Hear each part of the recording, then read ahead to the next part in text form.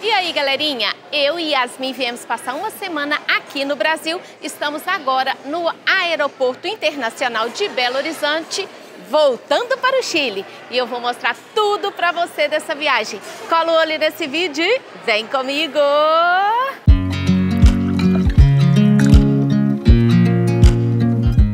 Gente, uma curiosidade é que a gente tem que fazer uma viagem de carro para chegar no aeroporto, porque são 40 minutos, sabia? 40 minutos, gente. Ninguém aguenta, não. O que, que você acha, mãe? é, o aeroporto de Belo Horizonte não fica em Belo Horizonte, fica em Confins e é uma hora. Então, é o mesmo tempo que a gente gasta daqui para São Paulo, a gente gasta do aeroporto até a casa da minha mãe. E essas lojas com as delícias de Minas, queijo, cachaça, algumas coisas podem entrar no Chile, outras não. Doce de leite. Eu sempre levo algumas coisas, dessa vez estou levando também. Mas tem um vídeo no canal o que, que é proibido entrar no Chile. Alguns produtos lá são proibidos. Estamos caminhando aqui para o nosso portão de embarque, que é o número 32. Ô, gente, a gente vem para Minas, a gente come tanto. Comemos muito pão de queijo, comemos frango quiabo, que eu adoro, é meu prato preferido da vida. É, pãozinho de padaria, pão, pão de sal, como a gente chama aqui em Minas, né? Que é o pão francês, que não tem no Chile. Então a gente aproveita para matar a saudade da cumilança mineira e vale muito a pena. A gente volta com uns quilinhos a mais, mas vale super a pena. Yasmin não, né Yasmin? Você nem comeu tanto, mas eu comi assim, como se não houvesse amanhã. Aeroporto de BH tá lotado, gente. Minerada tá toda indo viajar. Ó, tanto de gente.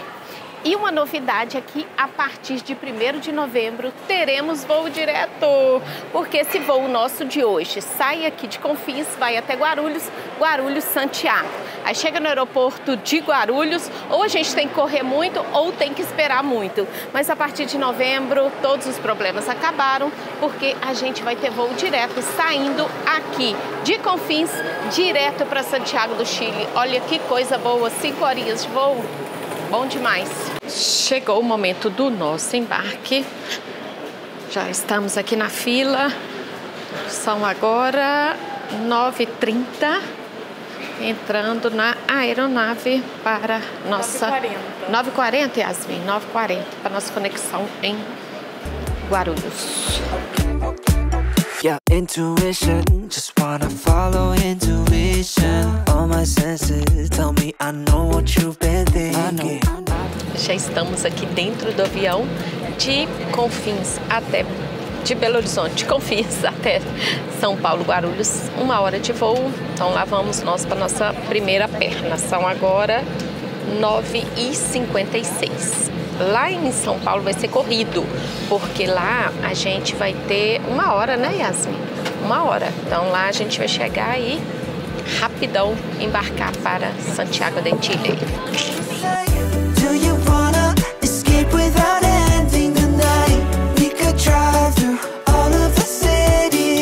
Acabamos de desembarcar aqui em Guarulhos.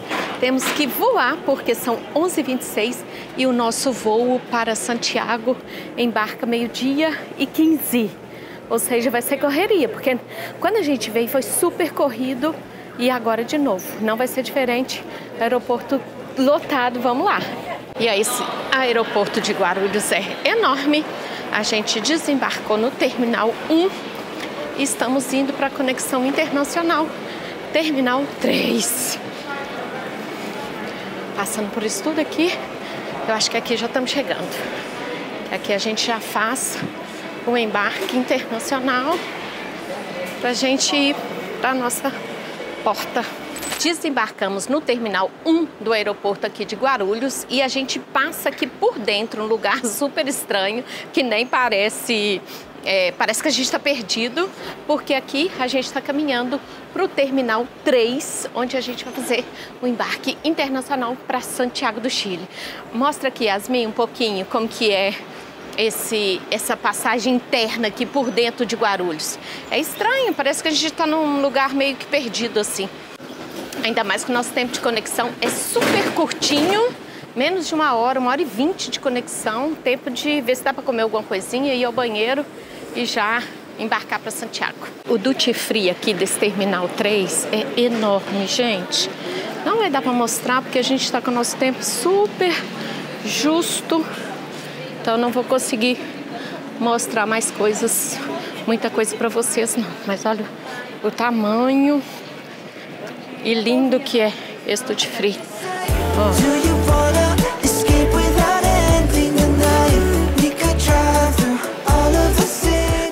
Portão de embarque é o 321. Então a gente está correndo aqui para ver se conseguimos comer alguma coisa. Nosso embarque, meio-dia 25, agora já são meio-dia.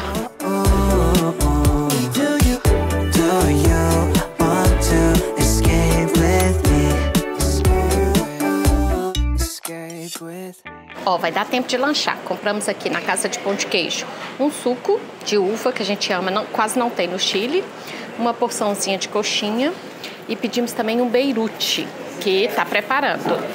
Isso tudo, quer dizer, só isso, deu 71 reais. Comer em aeroporto realmente é caro. Já chamou aqui nosso embarque. Santiago 1325, previsão de chegada lá 5 5h40 da tarde, quase noite. E ali está nosso aviãozinho para Santiago de Chile. People knew her by her will to make it whatever she put her mind to. Late night hours. Chegou aqui agora o nosso lanchinho por aqui um mix de frutas com esse chocolatezinho. Chocolate, eu pedi uma coca e aqui um sanduíche que tá quentinho. Não sei o que, que tem dentro, vou comer para ver. É, mas tinha também opções de. Yasmin pediu um suco de uva.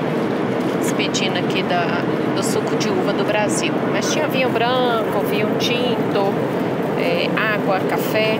o sanduíche é uma carninha desfiada com queijo, parece que é um creme cheese. Que queijo é esse, Min? Cheddar, verdade.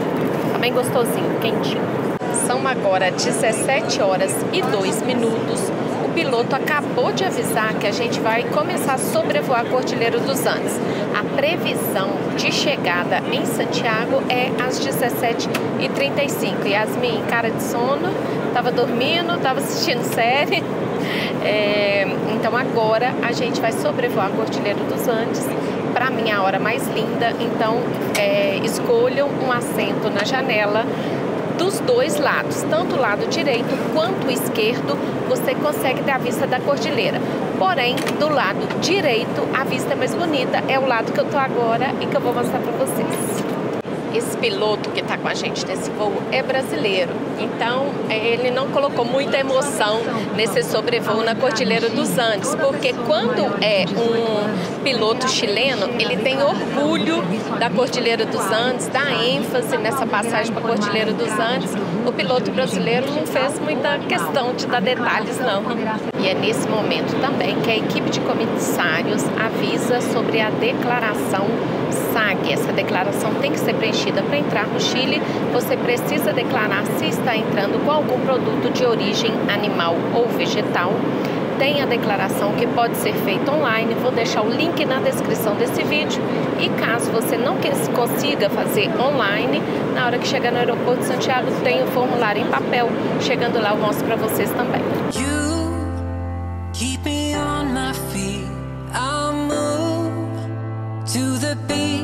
My favorite song. Keep it on repeat.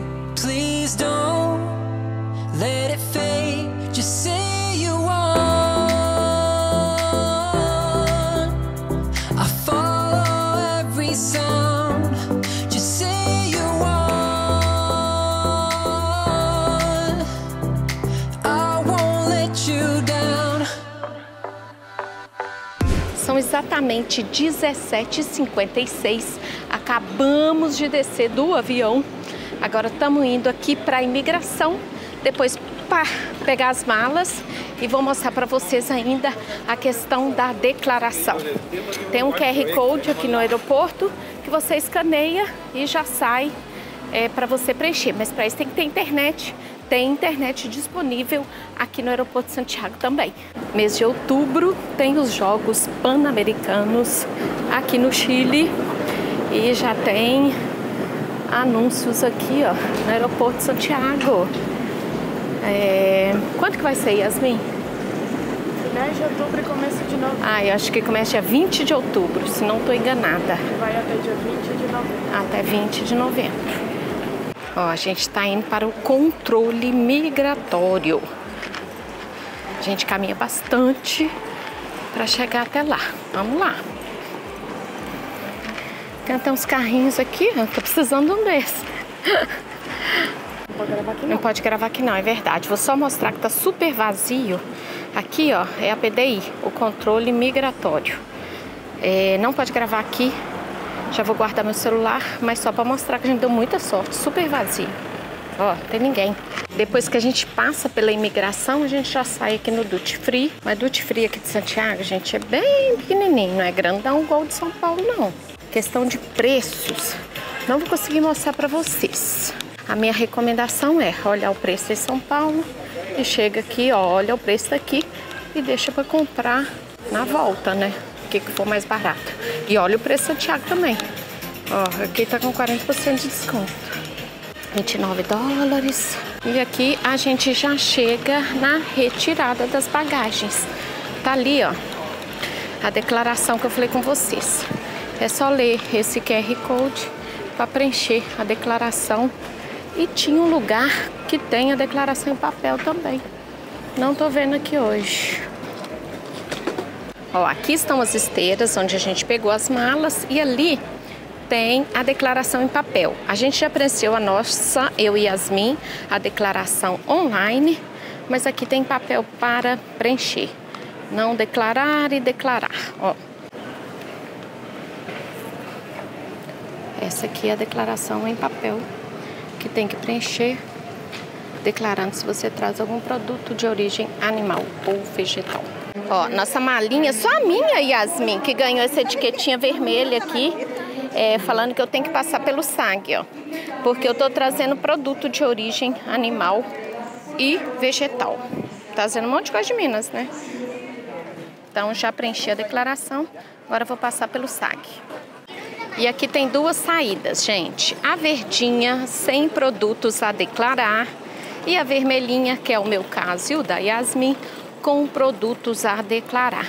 Então, quem não traz nada de produto de origem animal ou vegetal passa por ali.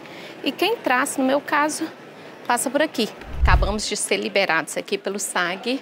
Estou aqui com a minha mala, Yasmin com a dela. Eles sabiam que tinha castanha de caju na minha mala e que tinha um pote também. E esse pote me perguntaram o que, que era. É, eu falei que era uma mermelada, que é geleia e liberaram a gente para passar. É, ainda bem que não pediram para abrir mala, mas pode acontecer de pedir para abrir a mala e aí tem que abrir e mostrar. Por isso que o minha apareceu com essa etiqueta vermelha aqui, porque no raio-x que eles passam lá dentro, eles já sabem que tem produto aqui dentro e podem pedir para abrir a mala. Depois que passa ali pelo serviço ganadeiro, mala liberada, a gente sai aqui. Saída, lá vamos nós. Já estamos aqui no estacionamento, indo para casa descansar. Flavinho veio buscar a gente, ó. Que delícia, tá ali ele com a Yasmin. E se você gostou desse vídeo, ele te ajudou de alguma forma, achou que com esse vídeo vai ficar mais fácil você viajar para o Chile? Então deixa um like, se inscreva no canal, porque eu sou Rose Guimarães e te ajudo a viajar para o Chile sem perrengues. Um beijo, até o próximo vídeo. Tchau!